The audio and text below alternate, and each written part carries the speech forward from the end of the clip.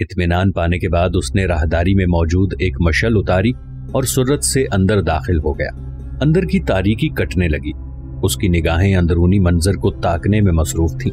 ये एक और राहदारी थी जिसके अतराफ में बिल्कुल इसी अंदाज के कमरे दिखाई दिए, जैसे कि बाहर मौजूद थे। फ़र्क सिर्फ़ ये था कि बैरूनी दरवाजों पर महज पर्दे पड़े हुए थे, जबकि इन कमरों में दरवाजे लगाए गए थे। वो तेज़ी से एक एक करके दरवाजों के अंदर झांकने लगा।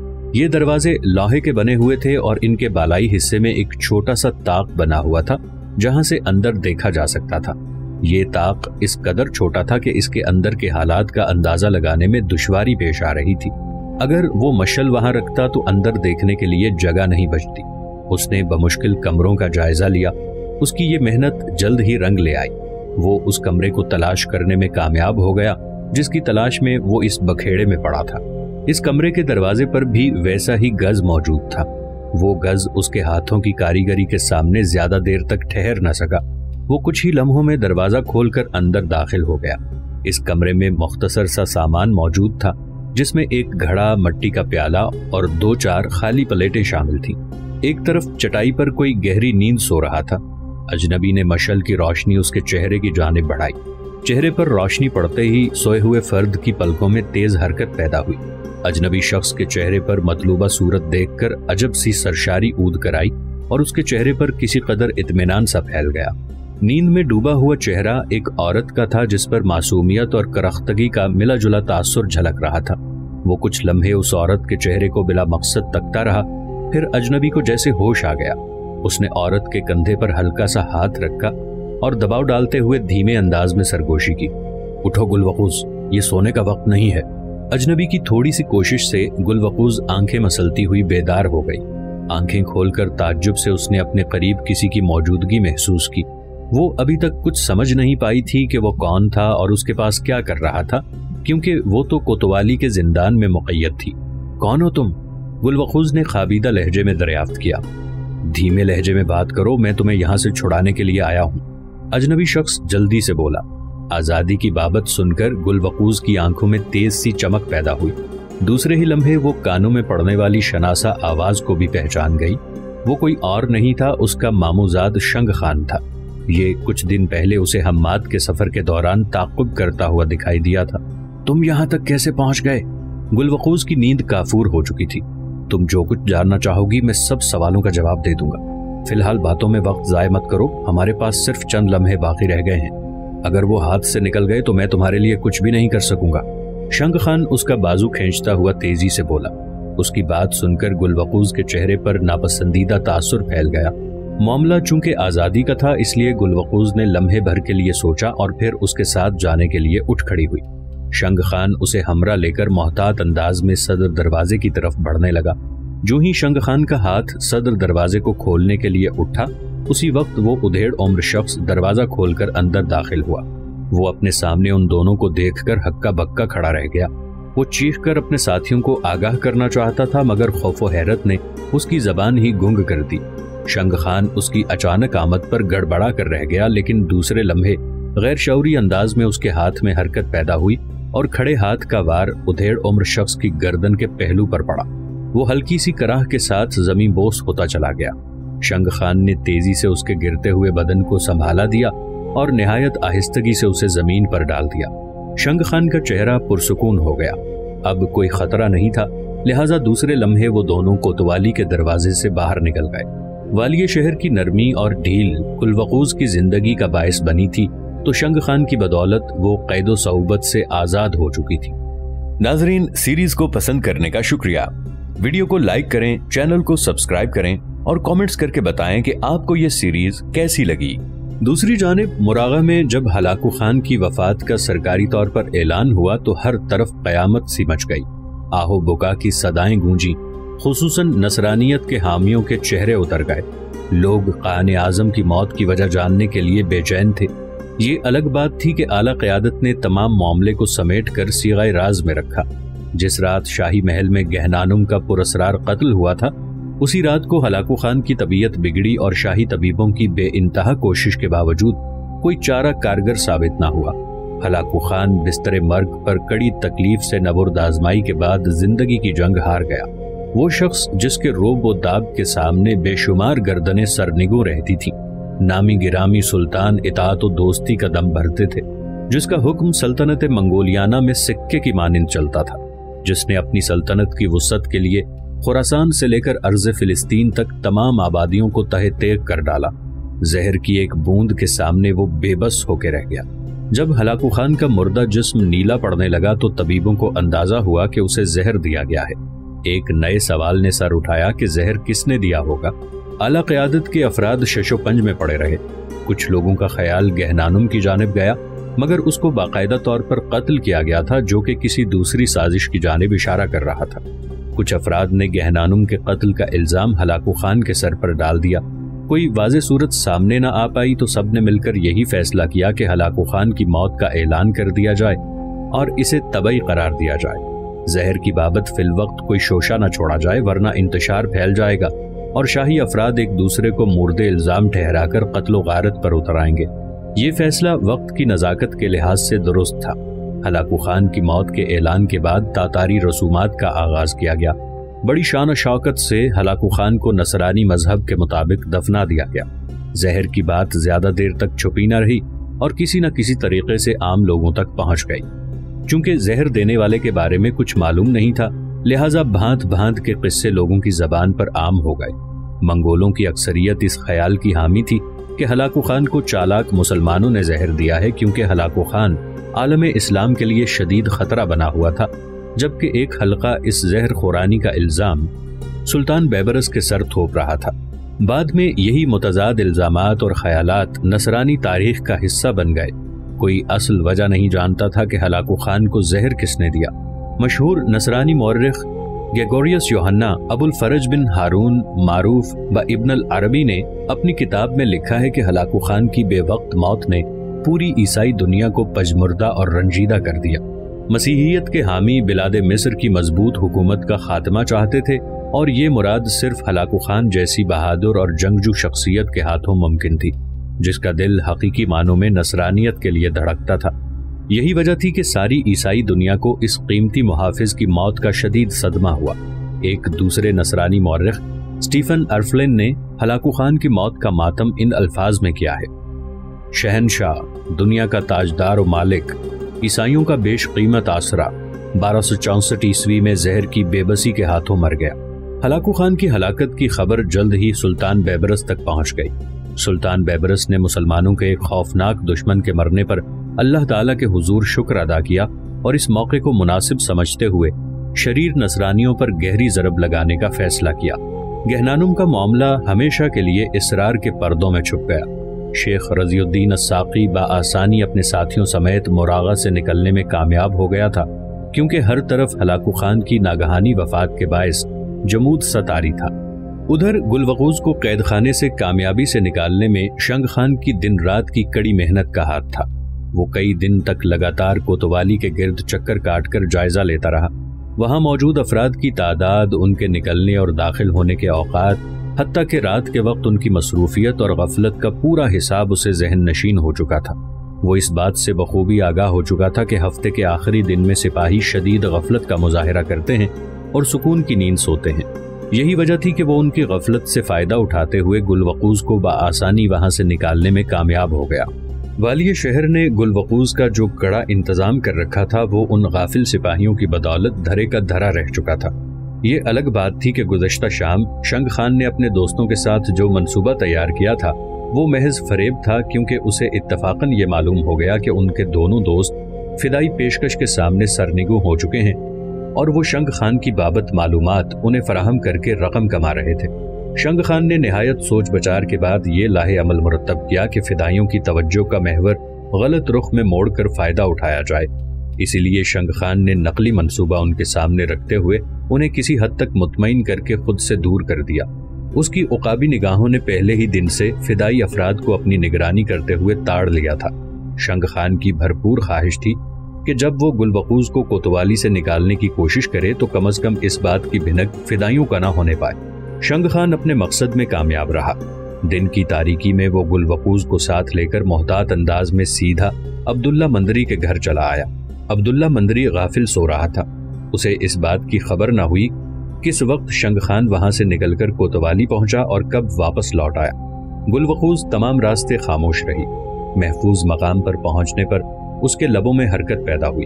शंख खान आखिर तुम मुझसे चाहते क्या हो? हम्मात में दाखिले के वक्त तुम दूर रहकर ताकुब करते रहे और काजी पर हमले के दौरान तुमने बहरूप बदलकर मुझ पर हमला किया और अब तुम मुझे कैद खाने से निकाल लाए हो। इस मुतजाद रवैये को मैं क्या नाम दूँ? आहिस्ता बात करो, मेरा मोहसिन सो रहा है। मैं नहीं चाहता कि उसे कोई तकलीफ़ पहुँचे। शंग खान ने सरगोशी नुमा अंदाज में कहा यह सच है कि मैं तुम्हारा ताकुब करता हुआ हम्माद पहुँचा हूँ, मगर यह सरीहन इल्ज़ाम है कि मैं काजी की अदालत में गया था और मैंने तुम्हारी मुहिम नाकाम बनाई। तुम शायद यकीन नहीं करोगी मैं तो इस घर में डेढ़ माह से बेहोश पड़ा रहा। अगर मैं होश में होता तो कसम जावेदानी आसमान की, तुम्हें यह मुहिम करने ही ना देता। गुलबकूज, तुम जिस रस्ते पर चल निकली हो, वो सिर्फ़ और सिर्फ़ बर्बादी की जानब जाता है। शायद तुम ये नहीं जानती कि अगर आज मैं तुम्हें कैद खाने से निकालने में कामयाब ना होता तो ठीक तीसरे दिन का सूरज तुम्हें देखना नसीब ना होता। तुम कहना क्या चाहते हो? गुलवकूज भवें सुकेड़ कर बोली, तुम्हारी सजा सिर्फ़ इसलिए मौकूफ की गई थी कि काजी की सेहतियाबी मुकम्मल हो जाए। और वो अदालत लगाकर तुम्हारे मुकदमे का फैसला करे। और वो फैसला कल सुबह होने वाला है, क्योंकि काजी न सिर्फ़ पूरी तरह तंदुरुस्त हो चुका है, बल्कि आज वो अदालत भी गया था। शंग खान ने मुतनबे करते हुए बताया गुलवकूज को इस बात की कोई फ़िक्र नहीं थी कि उसके साथ क्या सलूक किया जाता। उसे तो ये बात खाई जा रही थी कि उसके पुरकुत वार की बदौलत लगने वाले घाव के बावजूद काजी इब्ने वासिल क्यों कर ज़िंदा बच गया। दर हकीकत उसका ज़िंदा रह जाना ही गुलवकूज की पहली नाकामी का सबूत था। मैं जानता हूँ तुम क्या सोच रही हो। शंग खान ने ढीले अंदाज में कहा, नाकामी नाकामी से मुझे सख्त चिड़ है। इस लफ्ज ने मेरी ज़िंदगी को कड़े अजाब में मुबतला कर दिया है। ये मनहूस सराय से लेकर हम्माद तक मेरे ताकुब में है। हर बार मेरी हिम्मत तोड़ दी जाती है। क्या मैं ज़िंदगी में कभी कामयाब नहीं हो पाऊँगी? गुलवकूज की आँखों में नमी उतर आई। उसका शिकस्ता लहजा उसे पहुँचने वाले सदमे की अक्कासी कर रहा था। तुम्हारी इस नाकामी में तुम्हारा अपना ही हाथ है। तुमने इकदार और रिवायात से बगावत की और एक मुसलमान से मोहब्बत करके न सिर्फ़ तुम खुद दरबदर हो गई हो, बल्कि तुमने अपने कुंबे को भी बखेर कर रख दिया है। तुम्हारी वजह से तुम्हारा बाप कोनाई खान कत्ल हो गया और तुम उसी की पादाश में महल्लाती साजिश का शिकार होकर रह गई। अगर कोनाई खान भरे दरबार में तुम्हारे आशिक की मुखालफत ना करता तो ये नौबत पैदा ही ना होती। तुम्हारी वजह से मेरा दादा मनकाना कबीले की सरदारी से हाथ धो बैठा। कबीले का मुतफ़ा फैसला था कि तुम्हें आखिरी रस्म की सजा दी जाए, जिसके आगे वो झुकने पर मजबूर हो गया। उसने मजबूरन तुम्हें सजा दी, मगर साथ ही मुझे रवाना किया कि मैं तुम्हें तारीख गार से निकाल कर कहीं दूर ले जाऊँ। जब हालात बेहतर हो जाएँगे तो तुम्हें वापस बुला लिया जाएगा। मगर इस मेहरबानी का राज मुनकशिफ हो गया। तुम्हारी वजह से तुम्हारे भाइयों के शाही मनसब खत्म हो गए। वो आज कसम पुरसी की ज़िंदगी बसर करने पर मजबूर हैं। ये सब किसका किया धरा है? जरा खुद सोचो गुलवखुज ये सब तुम्हारी गलती थी। तुम मुझे सिर्फ़ इस सवाल का जवाब दो कि तुम्हारा आशिक अगर वाकई तुमसे सच्ची मोहब्बत करता था तो वो आज तक तुम्हारे पीछे क्यों नहीं आया? जज्बात की रौ में बहता हुआ शंग खान का चेहरा सुर्ख दिखाई दिया। उसने गुलवकूज पर नफसियाती दाव फेंका था। इसका किसी कदर असर गुलवकूज के चेहरे पर झलक रहा था। उसके तखयल में अपने बाप कोनाई खान की सूरत झांकने लगी। भाइयों की याद ने पल भर के लिए उसे बेचैन सा कर दिया। फिर जहन के किसी गुमनाम खाने से मोतियुद्दीन का शरारती चेहरा निकलकर गिरता से तखयल पर आदम का और उसका मुँह चिढ़ाने लगा। गो उसके नकोश किसी कदर धुंधला चुके थे, मगर पूरी तरह मिट नहीं पाए थे। शंग खान उसके चेहरे के तगैरात को देखता रहा। गुलवकूज जज्बातियत में डूबी हुई दिखाई दी, फिर अचानक उसका चेहरा पुरसकून सा होने लगा। शंग खान के चेहरे पर तफक्कुरात फैलने लगे। शंग खान गुलवकूज काटदार लहजे में बोली, तुमने मुझे कैद खाने से निकाला, इसका बहुत शुक्रिया। मगर मैंने जिस बगावत का आगाज़ किया था, वो मेरा मकसद अभी पाए तकमील तक नहीं पहुँचा। तुम वापस सराय लौट जाओ और ये बात याद रखना, आज के बाद तुम मुझसे कभी नहीं मिलोगे। इस बात को अपने दिल से निकाल दो कि मेरा मिलान कभी तुम्हारी तरफ़ होगा। मैं अब जाना चाहती हूँ। अगर तुम्हें कुछ कहना है तो कह दो। मगर तुम अब जाओगी कहाँ? शंग खान तड़प कर बोला, इस बात को रहने दो। ये मेरा सरदर्द है। गुलवकूज के लहजे में बेएतनाई थी। गुलवकूज, कसम जावेदानी आसमान की मैं तुमसे बेहद मोहब्बत करता हूँ और मैं तुम्हारे बगैर खुद को अधूरा महसूस करता हूँ। मैं ना चाहते हुए भी तुम्हारे ताकुब में रहता हूँ और ये मुझसे नहीं हो सकेगा कि तुम्हें तनहा छोड़कर मैं वापस लौट जाऊँ। तुम इस राह को छोड़ दो और वापस चलो। हम दोनों एक नई ज़िंदगी की इब्तदा करेंगे। खुशो खुर्रम और इत्मीनान बख्श। शंग खान, तुम कब से ख्वाब देखने लगे हो? मैं तो समझती थी कि तुम्हारी रगों में जोशीला तातारी खून दौड़ रहा है, मगर इसकी हरारत दम तोड़ती हुई महसूस हो रही है। गुलवकूज ने तंज किया। गुलवकूज मोहब्बत बहादुरों को भी गीदड़ कर देती है, और मैं इस मरज का शिकार हूँ। शंग खान, तुम मेरा वक्त जाया कर रहे हो, मुझे अब चलना चाहिए। गुलवकूज दो टोक अंदाज में बोली। उसकी बात सुनकर शंग खान के चेहरे का रंग उड़ गया। वो तेज़ी से उठ खड़ा हुआ। शंग खान दोनों बाजू फैलाकर आगे बढ़ा। शायद वो गुलवकूज को रोकना चाहता था। गुलवकूज उसके अंदाज से भाप गई कि वो उसे आसानी से जाने नहीं देगा। उसी लम्हे गुलवकूज का हाथ हरकत में आया और शंग खान के पहलू में लटका हुआ खंजर उसके कब्जे में आ गया। शंग खान अभी संभलता कि गुलवकूज ने सफाकी से खंजर का फल उसके सीने में उतार दिया। शंग खान के लबों से हल्की सी कराह निकली और वो अपने सीने को दोनों हाथों से थामता हुआ वापस बैठता चला गया। उसकी आँखों में गहरा कर्ब आया था। वो सबका बेहोशी और उनके जख्म की बदौलत पहले ही नकाहत का शिकार था कि सीने में घोंपा हुआ खंजर उसकी मुदाफियत को बरकरार न रख सका। उसकी आँखों में कई सवाल थे जो गुलबकूज से चीख चीख कर कह रहे थे कि उसने ऐसा क्यों किया। मगर गुलबकूज के चेहरे पर करख्तगी और सफाकियत फैली हुई थी। उसे शंग खान को हलाक करने का कतई कोई रंज नहीं था। खंजर जनी की वो तरबियत जो गुलवकूज ने उसी से हासिल की थी, आज उसका निशाना शंग खान खुद बन चुका था। उसके वहमो गुमान में भी नहीं था कि गुलवकूज इस हद तक उतर आएगी। वो खुद को जवाब देने की कोशिश करने लगा कि यकीनन ये गुलवकूज वो नहीं है जो कि उसकी खुफी जात थी। ये तो एक सफाक कातिला थी, जिसके लिए इंसानी ज़िंदगी कोई मानी नहीं रखती थी। शंग खान ने कोशिश की कि वो खंजर निकाल ले, मगर मौत ने उसे ये मोहलत ही ना दी। उसकी खुली हुई निगाहें पथरा सी गईं और सांस का रब्त टूट गया। उसी वक्त गुलवकूज के कानों में फजर की अजान की सदा पड़ी तो वो चौंक पड़ी। उसने एक जानब पड़ी हुई बड़ी सी चादर उठाई और बदन पर अच्छी तरह लपेट कर तेज़ी से अब्दुल्ला मंदरी के घर से बाहर निकल गई। सुल्तान बेबरस ने छह सौ चौसठ हिजरी ब मुताबिक बारह सौ पैंसठ ईस्वी के आगाज़ पर तमाम अफवाज को तैयारी का हुक्म दे दिया। उसने खास सालारों को आगाह कर दिया कि वो सलीबी कलों पर हमला आवर होने का इरादा रखता है। इस हमले के दो अहम असबाब थे। एक सबब तो सलीबी सरदारों की जानब दमियात के दारुसना को नुकसान था, जिसके बायस बहरी बेड़ों का काम तातुल का शिकार हो चुका था और दूसरा सबब उनके मुसलमान आबादी पर हमले थे।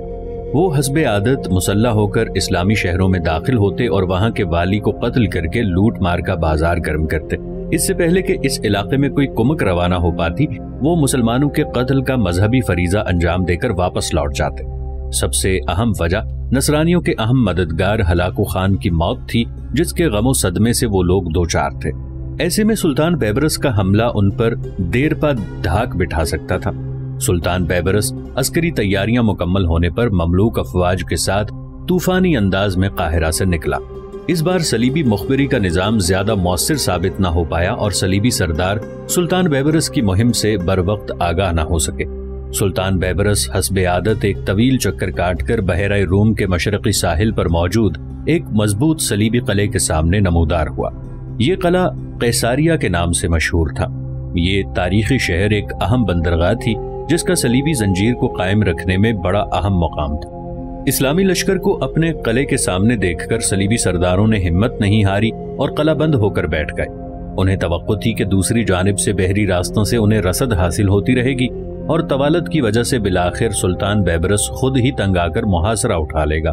सुल्तान बेबरस ने हालात की नजाकत को महसूस करते हुए हुक्म दिया कि मुजाहिदीन मुहासरे के झंझट में न पड़े, बल्कि मुसलसल हमलों का सिलसिला जारी रखें। कैसारिया के बुलंदोबाला बुर्जों पर सलीबी सिपाही मौजूद रहते और वो इस्लामी लश्कर को फसील पर चढ़ने से रोकते। मुजाहिदीन ने एक तीर अंदाज दस्ता उनसे निमटने के लिए मखसूस कर दिया और वो मौका पाते ही उन पर तीरों की बारिश बरसाए रहता। इस्लामी लश्कर अपने सुल्तान के साथ बेहद पुरजोश दिखाई देता था। सिपाहियों ने अपनी गैर मामूली कारकर्दगी का मुजाहरा करते हुए हमलों में इतनी शिद्दत पैदा कर दी कि सलीबी सरदारों के पास इसके सिवा कोई चारा न रहा कि वो खुले मुकाबले पर आ जाते। सात दिन की मुसलसल झड़प एक फैसला कुन जंग की सूरत इख्तियार कर गई। सलीबी सिपाही मुसलमानों के बुलंदोबाला हौसलों से ऐसे मरूब हुए कि उन्होंने मैदान में उतरने से साफ़ इनकार कर दिया। सलीबी सरदार इस नई सूरत हाल से परेशान हो गए। बिलाखिर यही तय पाया कि हथियार डालकर सुल्तान बैबरस से अमान तलब की जाए। सुल्तान बैबरस ने उनकी दरखास्त मंजूर करते हुए उन सरदारों को हुक्म दिया कि वो कला खाली करके समुंदर के रास्ते निकल जाएँ, उनका ताकुब नहीं किया जाएगा। सलीबी सिपाहियों के पास इतनी कश्तियाँ नहीं थी कि वो सब के सब फरार हो जाते। वो फरार होने के लिए आपस में ही भिड़ पड़े। बेशुमार सलीबी अफराद खाना जंगी के बायस हलाक हो गए। कैसारिया की नसरानी रियाया ने कले का दरवाज़ा सुल्तान बैबरस के लिए खोल दिया।